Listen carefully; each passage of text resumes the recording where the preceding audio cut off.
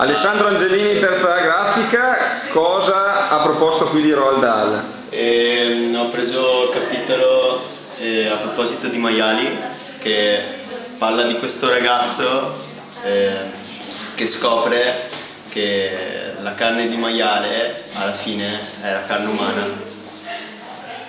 Dovevamo andare a pochi metri da qua che c'è la macelleria, qua dietro l'angolo. Eh, appunto, infatti dopo eh, viene preso anche lui come i maiali qua appesi e viene portato al macello.